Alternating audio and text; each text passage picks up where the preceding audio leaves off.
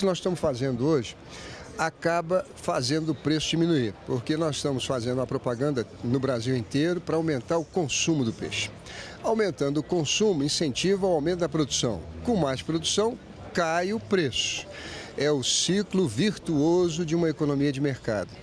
O brasileiro talvez encontre no, na falta de hábito, sobretudo das crianças, um obstáculo a comer o peixe.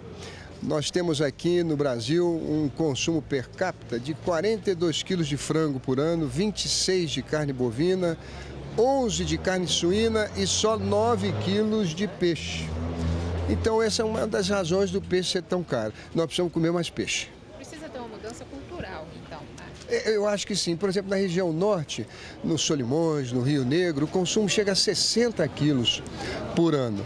Já em São Paulo, no Rio, no Centro-Oeste, onde as pessoas têm mais acesso ao frango, ao boi, o consumo vai lá embaixo. Agora é preciso lembrar que a melhor proteína animal é a do peixe.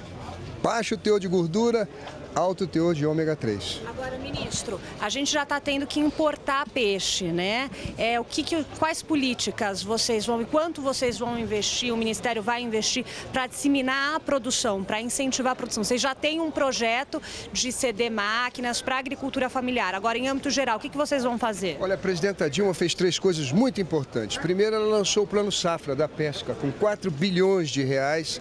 Meio bilhão já foi emprestado nesse primeiro semestre. Depois ela desonerou o preço do peixe, tirando os impostos, colocando o peixe na cesta básica. E agora ela está descomplicando o licenciamento ambiental para isso que a senhora falou, que é a produção do peixe em cativeiro, nas fazendas. O Ministério está distribuindo mais de um bilhão de reais em máquinas e a nossa ideia é diminuir realmente esse volume de importação, que ano passado, governador, chegou a 1 bilhão e 300 milhões de dólares, sobretudo de bacalhau e de salmão. Então eu gostaria também, aproveitando esse espaço, pedir aos brasileiros para provarem ah, o tambaqui, provarem o pacu, provarem a nossa tilápia, a sardinha, a garopa, a anchova.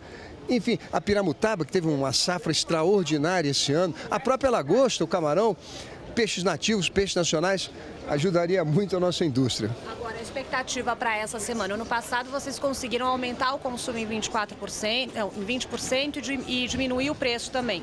Qual a expectativa para essa semana aqui? Olha, a gente quer também repetir, ou quem sabe até um índice melhor. Na diminuição do preço, chegar a 50%. Nas grandes redes, a gente chega a 50%, porque o consumo aumenta muito.